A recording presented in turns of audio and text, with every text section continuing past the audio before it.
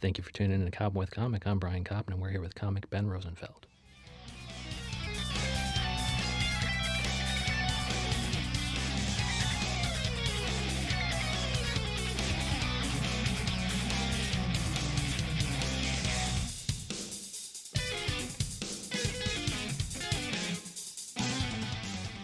Ben Rosenfeld, how the hell are you? I'm great. I'm excited to be here. Thanks oh, for Oh, having I'm so happy that you are here to promote your fourth comedy album And to talk with you. and to talk with me too. But In we're that gonna order, but yes. and we're gonna talk about "Don't Shake Your Miracle." That's a funny ass name. Is it all about your kid? it's probably 60% about pregnancy and having a baby between pregnancy and one year old because the album's the last two years of material. Oh, okay. But then, like, I was also born in Russia and, you know, Oh. it's occasionally in the news. So there's definitely a good 20 or 30% of Russia jokes. Oh, good. You got to get that out before it's no longer timely. Yeah, although it's been timely for a I while. know. I'm quite upset I'm not famous because of it. It- it- my, my previous album was called The United States of Russia. Dude, you would think, uh, You but would but with the impeachment and things like that, and just what, Russia and, and Ukraine are just on everybody's lips, so it's good you're I mean, keeping in. relevant four straight years, but nobody wants to give me a Tonight Show. Uh, well, they will after this because don't shake your miracle. It's cool though that you're only encompassing what pregnancy in the first year, because then also your fifth one, your fifth comedy album can be about Don't you- shake your toddler. Yeah, your your terrible twos and uh, horrible threes or whatever it's called.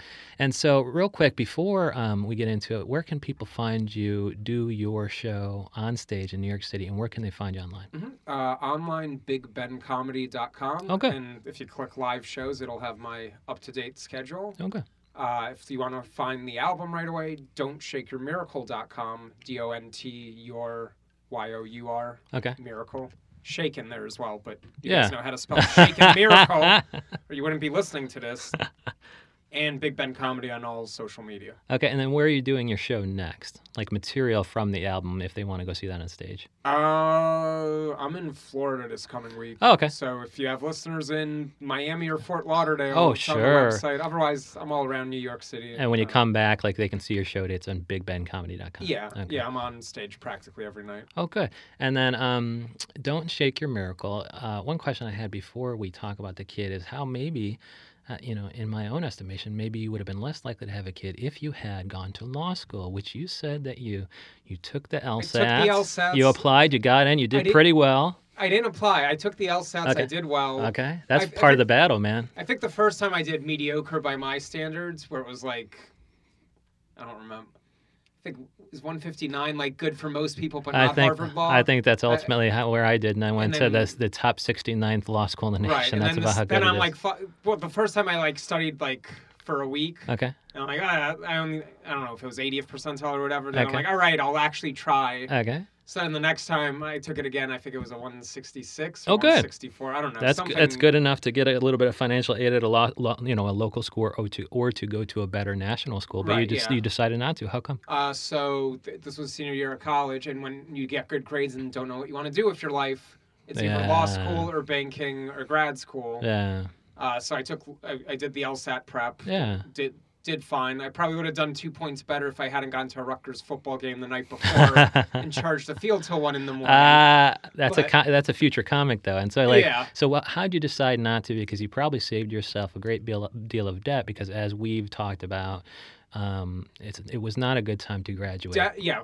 debt, and in the had I gone directly from undergrad and graduated, I would have graduated into the uh, law law hiring crisis of 0809. Yeah, it's good you say that because I graduated in 2007, and then uh, you know I practiced for about a year, and then everything went to shit. And I Right. also moved states from Illinois to New York, and you can't. You just have to change your registration. You have to like you know then Redo then get then. Well, I, I should get licensed in New York, but it's you know it was such a shit time to do that that um you know so I took on all this debt, and the the market just crashed. And so I mean, do we think that your decision not to go into law school was it informed at all you know by an interest in comedy and the fact that had you taken on all that debt, you wouldn't have been too funny, meaning you wouldn't have mm, had time So- to pursue your craft. Good. Qu- uh, indirect directly it did not it was not like so in college I, actually ran with my buddy a parody website of Rutgers Oh, where cool. we made fun of the school so That's that was, like, awesome. four years of comedy writing a little bit like Oh, we- good. We, did not have a good set schedule it's like we were the shitty college humor of Rutgers okay. and like didn't Every college we didn't needs apply one. ourselves very well, but we sold Okay. like T-shirts, sweatshirts, Oh, cool. and thongs, and shot glasses, and Oh. they always sold out. So You- yeah, you would have done that in law school. You wouldn't have had Yeah. to pay a dime. You would have made it by making fun of your law school. You right, we, we money, did we did okay, but Okay. then uh, so after I took the LSATs, I went to career services. Like I'm, I'm like, yeah, you guys should probably look over my resume, and they're like. It's good, but what do you want to do? I'm like, I don't know. I like traveling. They're like, well, there's this presentation by a consulting firm. Why don't you check that out tonight or tomorrow night or whatever? Yeah. It was McKinsey, so I I looked. I applied. I'm like, this. They, they like gave their talk where it's like solve interesting problems and Yeah. travel. I'm like, yeah, those sound good. Yeah. And then so I applied to there and to like all the other consulting firms on campus. Okay. Uh, eventually got a job with Accenture. Oh, cool. The uh, funniest part, I got into the second round of McKinsey, Okay. And the, the funniest part there, was, I, I remember distinctly, like they ask you these questions, Yeah. and he asks something, and I just start talking and talking. He's like, "You don't remember what I asked you, do you?" and I'm like, "Nope." Dude, that's funny. He's like, you should go into stand-up comedy. And so, like, um, So it, didn't- it didn't dawn on me, and then I started doing consult. Like I, I'd always been sort of doing comedy, but I never Yeah. like viewed that as a thing. yeah. And then uh, two years into consulting, my buddy, who was the co-founder of the site, he Yeah. was, he'd already been doing stand-up in college. I'd always go around with him, giving him little ideas. Oh, cool. And then he was in Atlantic City. I was on a project in Philly, which is close by. So I started checking out shows in Philly Oh, for him to like go when he was visit when he'd visit me. Yeah. And after like a week of watching Philly open mics, I was like, I could write this shit. So I went back to the hotel room, wrote a couple pages, emailed it to him. I'm like, hey, maybe you could use some of this. And he responds, it's not bad. Why don't you try it? yeah. Why don't I try it? So, where'd you try it in Philly? yeah, Helium at Philly was my first time ever on stage at their Ah. open mic night. And were you able to get a real audience, or was it? Yeah, no, and anywhere outside of New York and LA, if even an open mic, they get like 30 to 50 people. That's crazy. and I had like little note cards. I print, I like printed out my jokes and then I chopped it up onto note cards. Yeah. Like my hand shaking. but I got a couple laughs. Oh, And good. then like the next week I showed up, they didn't put me on, but like someone recognized one of my jokes. so it was cool. So, so it's nice to have a little bit of success early on, and you've Right, you've yeah, parlayed it into to just tons of albums. And so your current, out your current "Don't Shake Your Miracles" at an hour, a new hour. it's 71 minutes. It's 71 minutes. Yes. Okay, so it's more than an hour. And Bonus. um, bonus material. And so is that, I mean, how are you going to make, um, you know, fatherhood and, chi- you know, pregnancy and childbirth and things like that? How are you going to make that original since there has been kind of an explosion of Twitter-based and internet-based kind of, you know, sit-down comedians Right. who've kind of I, I explored the thought you were to stereotype. say, how, how are you going to make it funny? Because no one's ever done that before. Yeah, how are you gonna, well how are you gonna make it original Right. because there's a lot of you know you know I mean, ster- like every topic's been done to death. Right? Yeah. It- it's about viewpoint perspective. Like I- I was born in Russia. I'm Yeah. like a Russian Jew who came to America as a little kid. I'm bilingual. okay I have like an insider's outsider perspective in Yeah. a way where like I'm pretty Americanized where I can I can fit in if I need to, but I also don't I don't see America how you guys see it in a way because Yes. I have this other culture and language and stuff. Yeah. So how kind of how do you see America, and how is that going to influence the current uh, "Don't Shake Your Miracle"? The, the way it's been someone described it is you have the sarcastic sarcasm of Judaism with the cold emotionless truth telling of a Russian. Oh, good. Which I'm like, that's really good. I'm gonna write that down. that that's really good. So That's uh, going to be the pull quote on the cover. right. Yeah. So that, that's kind of how I.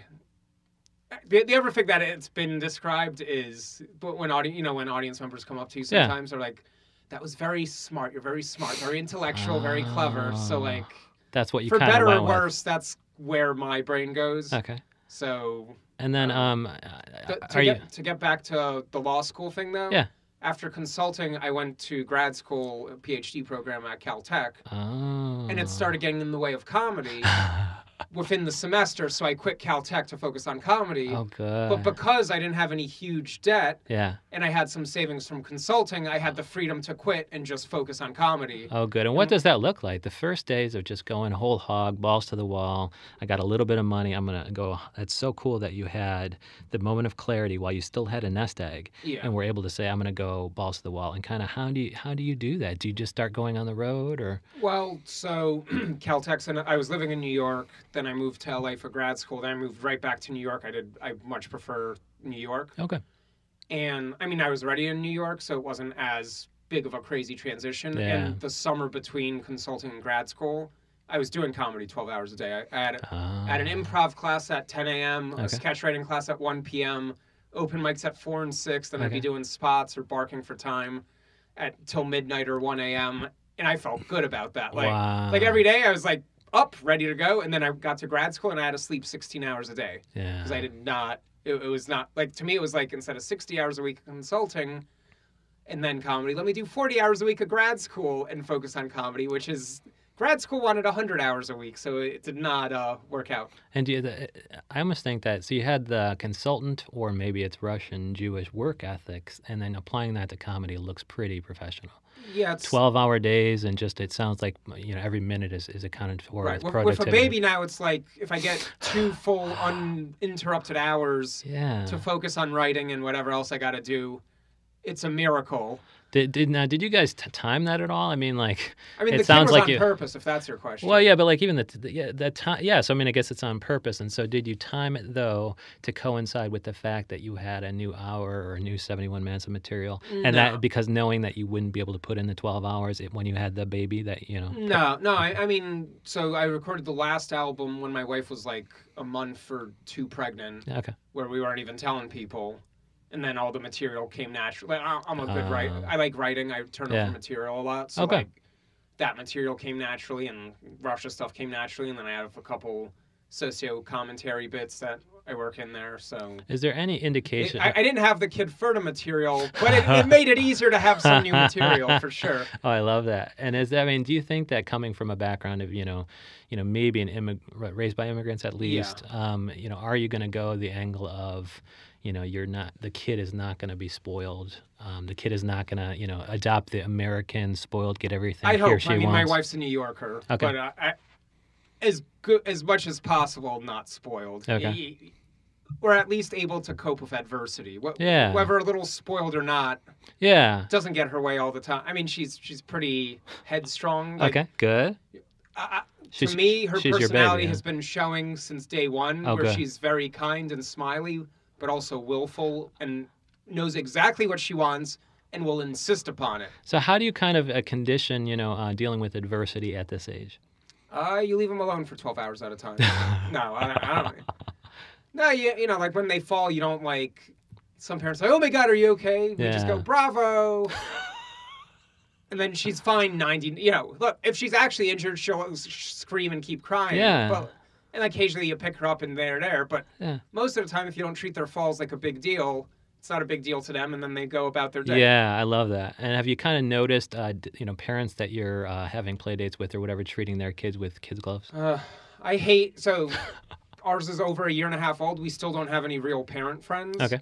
Because all the parents are fucking lame. Can- Can I say? Yeah. Fu- I'm gonna. Sure, curse, don't please care. do. Yeah. Uh, you tell me if I couldn't. Um, parents all mean well, but they're. It's like you wouldn't be friends with these people unless you had kids the I same know, age. yeah. Which is how I felt about grad school. I'm like, I would never talk to any of you fucking lame nerds, um, but we have these fucking classes together. Yeah. So, so it, it's been a struggle to find people that we're, we can hang out with that also have kids our age. Yeah, I mean, you're used to hanging out with funny people, and some of these people Right. might not have a They're- sense of humor. Barely, barely a pulse is how I would describe most of these. They're, they're all very nice and polite and kind, Right. and it's fine. They're playing, but they're like, they're, they're squares. Yeah. Especially like Astoria is a good neighborhood. But Yeah. and there's some artsy people, non-comics, but like a, a lot of people are like working normal nine to five jobs Yeah. and just want more space, or they grew up Greek, so they live here or whatever. Right. So it, it, it's, yeah. Have you ever thought about giving them a copy of your album? I'm gonna put it in the parent groups for sure. yeah, yeah, yeah. That, that's no doubt about it. It's like, did you guys listen to my shit? You guys have no sense of humor. Yeah, I mean they'll probably pull their kids away from my child after they listen to it. it. It's definitely on the darker side. Uh, What what could your child become that would um, disappoint you, and what could he or she become that makes that would disappoint you? yes. Now, what would make you proud? No, I'm, I'm A- a consultant? Whatever. No, I mean, look, wh- whatever. The part of me that's Americanized is like find what you like doing, Yeah. then work really hard at it, and do that. Figure out how to make money doing that. That's so the Americanized way. that, that's my that that's the American thing I like. Okay, and then what's the kind of non, you know, the Eastern world? Work hard at it. Make a lot of money. Don't like what you do. Just No, make a lot of no, no.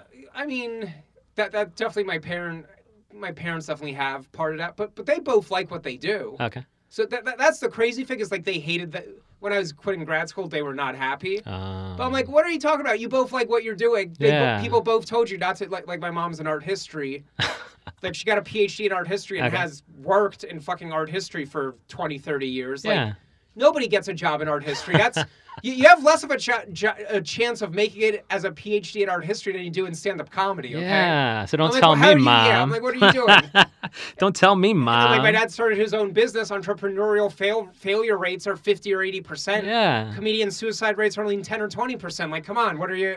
So yeah, you kids, know? if you're going to do a career switch, make sure you have done your homework because it sounds like Ben Rosenfeld was totally ready for any argument his parents threw in his they- direction. My mom only settled down once I released a book. uh, oh, you Yeah, because that, that that was like more her what she understands. Oh, So good. she's like, okay, book, I can. Okay, now you're okay. and and do you do some of your accents in this hour that's coming up? yeah, there, I think. Yeah, I don't think I do my mom. I think my dad. This album. Other albums, I've done both. There, there's definitely Russian accents in certain Oh, situations. nice. And But, what, I try not to overdo it. You know what I mean? Like, you- yeah. You, don't just want to be the Margaret Cho of Russia, where everything's Chinese voice. Yeah, and I, I, don't even know if she does that anymore. I shouldn't say. yeah, Margaret Cho, you know, she's she's good beyond that. So you know, she's good. She's actually quite she's good because she's not But- good but because that's like of how that. she got famous, Oh, right? okay. It- It's like and also, it- Chris it- D'Elia had that too. Be, be careful how you get famous, because then you're stuck with that a little bit. Yeah. So, And so this next one is the one that will make you famous. It's called "Don't Shake Your Miracle." And from your words to uh, the comedy god's ears. Oh, and that's going to be everywhere great comedy albums are Uh, sold. but so get iTunes. it on iTunes. Okay. I, I, it'll be everywhere, Right. and if you're a cheap fuck, you can stream it. Yeah. But uh, if you want to do, be a pal and do me a favor, yeah. buy it on iTunes because uh, the, the last one was actually number one in iTunes comedy. Oh, cool. For a And- couple days, I, I beat Jim Gaffigan, which Oh, is my good. career achievement. Oh yeah, and that helps because Yeah. then people are like, "Who's this number one album that I haven't heard of? Let me go ahead and, Right, and right. stream Ben Rosenfeld." And they can find it at BigBenComedy.com Yes. for when they want to see in New York City after you come back from Florida. Yes. And you're bringing your baby to Florida. Yes. Okay. Uh, my wife's parents are also Jews who go to Florida for the winter as per the laws of the Torah. Oh, I love that. so, uh, yeah, we're going to go visit them. And in the meantime, don't shake your miracle while you're down there Correct. Don't shake your miracle anywhere because they're a miracle. because they're a miracle. Thank you so much, Ben Rosenfeld. Thank you, Brian.